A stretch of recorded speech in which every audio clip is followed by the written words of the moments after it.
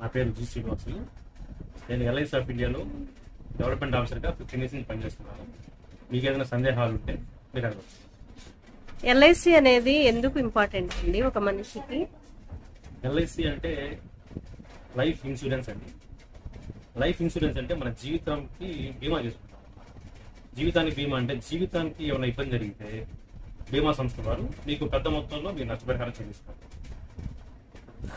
అలాగే కాకుండా మనం సంపాదించిన అమౌంట్లో కొంత అమౌంట్ని మనం ఒక జీవిత బీమాలో పాలసీ ద్వారా ఒక సపోజ్ ఒక పది లక్షలు పాలసీ తీసుకున్నాం అనుకో ఈ పది లక్షల పాలసీకి మనం ఒక టర్మ్ అని డిసైడ్ చేస్తాం. ఒక ట్వంటీ ఇయర్స్ టర్మ్ అనుకుంటాము ఈ ట్వంటీ ఇయర్స్ టర్మ్కి ఈ పది లక్షల పాలసీ కొంత ప్రీమియం చెల్లిస్తారు. ఈ ప్రీమియం చెల్లించే సమయంలో మనకి ఏదైనా జరగకూడదు జరిగింది. జరగకూడదు అంటే రెండు రకాలుగా జరగచ్చండి ఒకటి ఏంటంటే నార్మల్గా జరగచ్చు నార్మల్ రిస్క్ అంటారు. ఇంకోటి ఏంటంటే యాక్సిడెంటల్ రిస్క్ అంటారు. నార్మల్ రిస్క్ అంటే మనకి ఏదైనా హెల్త్ బాగాలేక ఆ వ్యక్తి చనిపోవడం జరుగుతుంది అనుకోండి దాన్ని నార్మల్ రిస్క్ అంటారు. యాక్సిడెంట్ రిస్క్ అనుకోండి మన ప్రమేయం లేకుండా ఎలా జరిగినా కానీ అది యాక్సిడెంట్ రిస్క్ నార్మల్గా ఏమైనా జరిగితే మనం చేసిన పాలసీ కలిపి పది లక్షలు దాంతో పాటుగా బోనస్లు కలిపి నామినీ ఇస్తారు. ఒకవేళ అతనికి యాక్సిడెంట్లో జరిగింది అనుకోండి పది లక్షలకి ఇంకో పది లక్షలు అదనంగా అంటే యాక్సిడెంట్ బెనిఫిట్ కింద ఇంకో పది లక్షలు అదనంగా ఇస్తారు. మొత్తం టోటల్గా ఇరవై లక్షలు ప్లస్ బోనస్లు కలిపి మనమే డిపెండ్ అయిన నామినీకి ఇస్తారు. అలాగే కాకుండా మనం మనం ఈ పొదుపు చేసుకునే సమయంలో ఏదైనా అవసరమైతే లోన్ కూడా తీసుకోవచ్చు. మనం అంటే మనం దా ఇలా లోన్ సదుపాయమే కాకుండా పాలసీ పూర్తిగా చివరి వరకు ఇరవై సంవత్సరాలు చెల్లించినట్లయితే మనకి ఆ పాలసీ మొత్తం పది లక్షలతో పాటుగా ఈ ఇరవై సంవత్సరాలకు సంబంధించిన బోనస్లు మొత్తం కలిపి ఇరవై సంవత్సరాల తర్వాత మెచ్యూరిటీగా ప్రపోజల్కి చెల్లిస్తారు. చాలా ఇన్సూరెన్స్ పాలసీలు ఉన్నాయి కదండి. అవునండి. మీ దానిలోనే మేము ఎందుకు ఇన్వెస్ట్ చేయాలంటారు? ఇన్సూరెన్స్ పాలసీలు మీరు అనేది insurance కంపెనీలా? Companies companies. Yes sir life insurance corporation LIC of India అనేది పంతొమ్మిది వందల యాభై ఆరు నుంచి స్థాపించబడింది. సో మన తాత ముత్తాతల నుంచి ఎల్ఐసి అంటే తెలియదేం కాదండి. మనకి ప్రతి ఊర్లో కూడా ప్రతి హెడ్ క్వార్టర్లో కూడా ఎల్ఐసి బ్రాంచ్లు బ్రాంచ్ ఆఫీసులు ఉన్నాయి. కాబట్టి సర్వీసులు కావాలంటే మీరు ఎక్కడికో వెళ్ళాల్సిన అవసరం లేదు. వేరే వేరే కంపెనీలు అనుకోండి ఏదన్నా మెట్రోపాలిటన్ సిటీస్ సిటీస్ మాత్రమే ఉంటాయి మామూలుగా బట్ ఎల్ఐసి ఆఫ్ ఇండియా అంటే ప్రతి హెడ్ క్వార్టర్లో ఉంటుంది. ఏజెంట్లు కూడా చాలా ఎక్కువ మంది ఉంటారు. ప్రతి విలేజ్లో ఏజెంట్స్ ఉంటారు. మీకు ఎటువంటి సమస్య వచ్చినా మీరు వాళ్ళకి కన్సల్ట్ అవ్వచ్చు. మీ సమస్య ఏదైనా ఉంటే ఇమీడియట్గా పరిష్కారం అయ్యే అవకాశం ఉంటుంది. ఏ ఏజ్ గ్రూప్ వాళ్ళకైనా మీ దగ్గర పాలసీలు ఉంటాయండి? రిస్క్ చేసుకోవచ్చా? కవర్ చేసుకోవచ్చా? మంచి ప్రశ్న మనకి జీరో నుంచి అంటే అప్పుడే పుట్టిన పిల్లల దగ్గర నుంచి ఎయిటీ ఫైవ్ ఇయర్స్ వరకు మనకు రకరకాల పాలసీలు ఉన్నాయండి. రకరకాల ఏజ్ గ్రూప్స్ అంటే అప్పుడే పుట్టిన వాళ్ళకి మనం ఏం తీసుకుంటామండి చిల్డ్రన్ పాలసీ తీసుకుంటాం. అలాగే ఎయిటీన్ ఇయర్స్ దాటింది అనుకోండి వాళ్ళకి జీవనానంద్ అనే పాలసీ ఉందండి. జీవనానంద్ లాంటి హోల్ లైఫ్ పాలసీలు అలాగే జీవన్ భూమంగ్ లాంటి పెన్షన్ పాలసీలు ఎండోమెంట్ పాలసీలు యూలిప్ పాలసీలు ఫిక్స్డ్ డిపాజిట్ పాలసీలు అలాగే జీవన లక్ష్య లాంటి చిల్డ్రన్ పాలసీలు రకరకాల పాలసీలు రకరకాల ఏజ్లను బట్టి మనం మేము సజెస్ట్ సజెస్ట్ చేయడం మాక్సిమం ఏజ్ ఏదండి? పాలసీ మాక్సిమం ఏజ్ వచ్చి మనకి ఎయిటీ ఫైవ్ అండి. ఎయిటీ ఫైవ్ అంటే ఆ ఏజ్ గ్రూప్కి మనం సింగిల్ ప్రీమియం మాత్రం ఇస్తాం డిపాజిట్ అది ఎలా ఇస్తామంటే మనకి జీవన్ అక్షయ్ అనే ఒక పాలసీ పాలసీ ఉందండి. అది సింగిల్ సింగిల్ డిపాజిట్ సపోజ్ మన దగ్గర ఏదైనా ప్రాపర్టీ అమ్మేమనుకోండి ఒక పెద్ద అమౌంట్ వచ్చింది అనుకున్నాం ఒక టెన్ ల్యాక్స్ ట్వంటీ ల్యాక్స్ వచ్చింది అనుకున్నాం ఈ అమౌంట్ని మనం ఒకేసారి డిపాజిట్ చేసినట్లయితే ఆ నెక్స్ట్ తర్వాత మంత్ నుంచి తర్వాత నెల నుంచి మనకి పెన్షన్ స్టార్ట్ అవుతుంది. అలా ఆ ఎయిటీ ఫైవ్ ఉన్న వ్యక్తికి ఆయన లైఫ్ లాంగ్ పెన్షన్ ఇస్తారు ఆయన తర్వాత ఆయన తదనంతరం వాళ్ళ భార్య ఉంటారు కదండి. భార్య కానీ భర్త కానీ ఎవరికైనా చేస్తే వారికి కూడా జీవితాంతం ఇస్తారు. అదే పెన్షన్ అమౌంట్ జీవితాంతం ఇస్తారు. తర్వాత వాళ్ళు దాచుకున్న అమౌంట్ ఎంతైతే ఉందో ఆ పది లక్షలు కానీ ఇరవై లక్షలు కానీ వాళ్ళ తర్వాత డిపెండ్ అయిన వారికి ఆ అమౌంట్ చెల్లిస్తారు. Nothing but pension. అంటే ఆ అమౌంట్ ఏంటంటే మనం.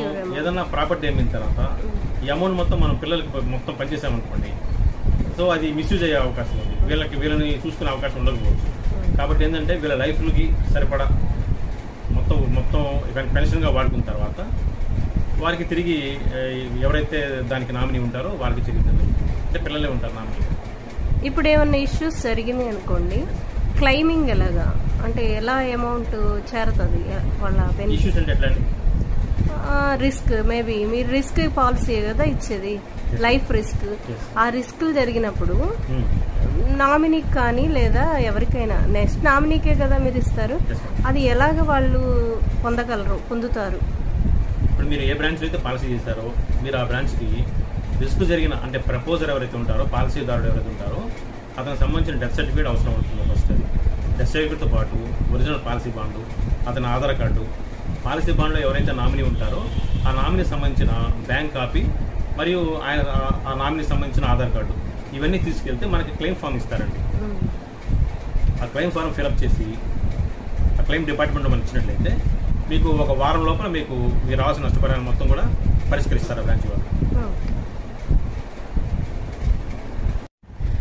మరి బెస్ట్ పాలసీలు మీ ఫిఫ్టీన్ ఇయర్స్ అనుభవంలో మీరు మీరు ఏవి మాకు సజెస్ట్ చేయగలరు best policies group wise age group wise యాక్చువల్గా ఎల్ఐసి ఆఫ్ ఇండియా వారు మనకి నేను ఉద్యమంలో చేరినప్పటి నుంచి అప్పట్లో జనరక్షణ ఒక పాలసీ ఉండేది.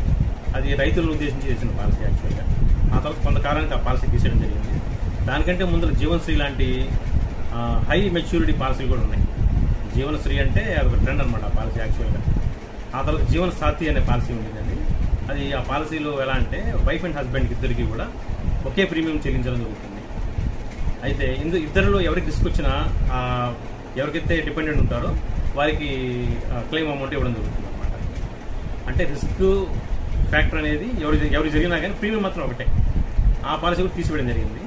ఆ తర్వాత జీవన ఆనంద్ అని ఒక పాలసీ ఉందండి. జీవన ఆనంద్ సుమారుగా ఫార్టీ ఇయర్స్ నుంచి మన ఎల్ఐసిలో ఆ పాలసీ ఇప్పటికీ కొనసాగుతుంది. జీవన్ ఆనంద్ అంటే ఇది హోల్ లైఫ్ పాలసీ అంటే జీవితాంతం ఉంటుంది ఆ పాలసీ సపోజ్ ఒక థర్టీ ఇయర్స్ ఉన్న వ్యక్తి ఈ పాలసీ తీసుకున్నారు అనుకుందాం అతను ఒక ట్వంటీ ఇయర్స్ టర్మ్ పెట్టామనుకుందాం. ఈ ట్వంటీ ఇయర్స్ అంటే ఫిఫ్టీ ఇయర్స్ పాలసీ అయిపోతుందండి. ఈ ఫిఫ్టీ ఇయర్స్లో అతను ఒక టెన్ ల్యాక్స్ పాలసీ తీసుకొని ప్రీమియం సుమారుగా ఒక యాభై వేలు ప్రీమియం అనుకుందాం. ప్రీమియం కడుతూ వెళ్తాడు. ప్రీమియం కట్టిన తర్వాత ఈ ఫిఫ్టీ ఇయర్స్లో ఈ టెన్ ల్యాక్స్కి ఇంకో టెన్ ల్యాక్స్ కలిపి ఇరవై లక్షలు అతనికి మెచ్యూరిటీ ఇస్తారు. అయితే దీన్ని మనం హోల్ లైఫ్ అన్నాం కాబట్టి ఈ మెచ్యూరిటీ తీసుకున్న తర్వాత కూడా ఆ టెన్ ల్యాక్స్ ఏదైతే పాలసీ చేశాడో ఆ పాలసీ ఇన్సూరెన్స్ కవరేజ్ పూర్తిగా జీవితకాలం కొనసాగుతుంది అనమాట అంటే ఫిఫ్టీ తర్వాత హండ్రెడ్ వరకు అటు అతను జీవించి జీవించినంత కాలం కూడా ఇంకో ten lakhs coverage free insurance ఇస్తారు. అంటే మనీ బోనస్ అమౌంట్ ఇచ్చి ఇన్సూరెన్స్ కవరేజ్ ఉంటుంది. ఇన్సూరెన్స్ కవరేజ్ లైఫ్ లాంగ్ ఇస్తారు. చాలా గొప్ప పాలసీ బాగుందండి.